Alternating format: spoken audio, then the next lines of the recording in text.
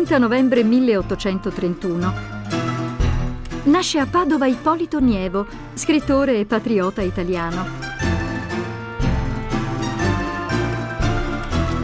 Giovanissimo, rimane colpito dagli ideali mazziniani e nel 1848 partecipa al fallito moto di insurrezione di Mantova.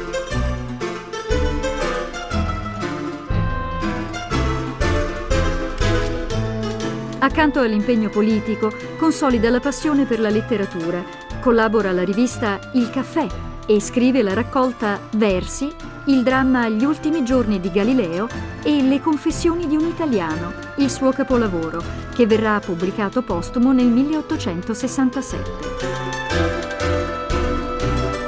Il 5 maggio del 1860 salpa da Quarto insieme alle truppe garibaldine.